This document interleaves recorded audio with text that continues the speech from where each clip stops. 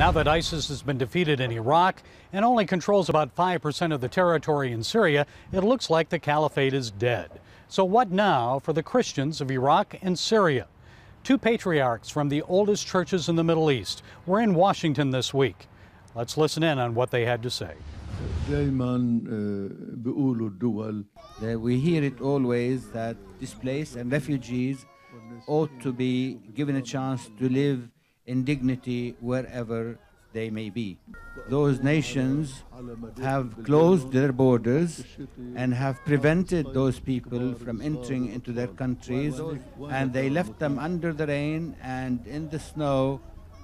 Where is the human dignity in all that? If the family is living under a tent and you've given that family something to eat, do you think and do you feel that that's enough for their human dignity to be safeguarded? If they really want human dignity, the first thing they have to do is stop the war and allow those people to go back to their countries, the countries they have built, and the civilizations they have built together in order to be able to live there in dignity.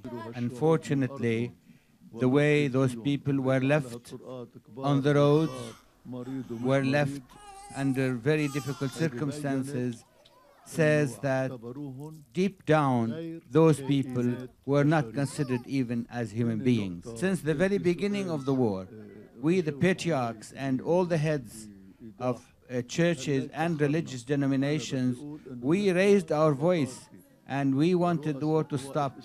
And we uh, tried to tell the world that uh, the fate of Christians and the fate of all those countries are in jeopardy. Uh, apparently, there was a question which said, Is the secularism of the West uh, responsible for uh, not intervening to help the Christians in the Middle East? نحن مشكلتنا مش مع الشعب مع الشعوب Our لا مع problem is الشعب not with the, الأمريكي ولا with أي the شعب.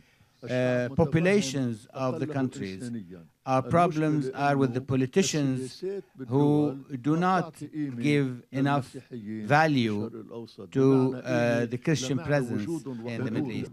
The countries don't care about the Christian presence nor about the effect that the Christian presence has on those civilizations the uh, politicians and countries have interests.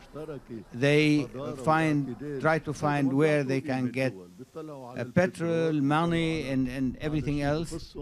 But they forget that if the Christians disappear from the Middle East and the civilization that Christians and Muslims have built together, this will lead to a disastrous situation not only for the Middle East, but also for people all over the world because the Muslim moderation will disappear. As you know, here in the United States, there's been this push for a possible homeland for Christians in Kurdistan and even parts of Syria. If there's a Balkanization of Syria after the war, what do these two beatitudes uh, feel about that? انه الحديث عن الاثنيات to talk about ethnic groups والقوميات and nationalities والطوائف and denominations والى ما هنالك and other هذا separate issues هذا, هذا لا يناسب المسيحيين اولا does not fit the Christians to begin with.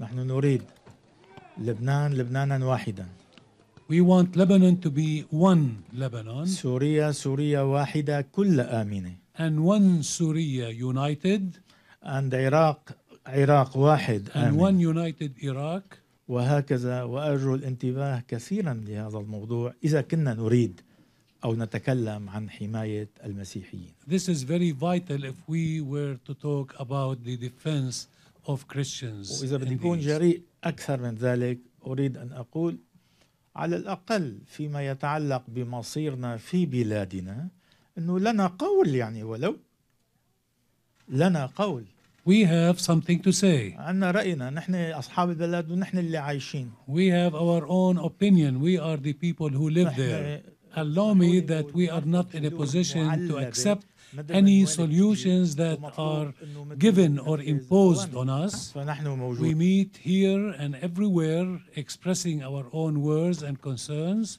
but we would, lo- we do, do not want to be reduced as being only listeners to what is dictated on us, ولكن ايضا هن يسمعونا ايضا that they should also hear us what we have to say to them. We are ونشكرهم grateful على for all ذلك. those who love for the welfare and the being and the well-being of our country. ولكن من حقنا ان ننشد وحده بلادنا It is our right to seek unity of our own ومن country. حقنا ان يكون لنا قول في مصيرنا وفي مستقبلنا And our rights is to express our own destiny and our own plight.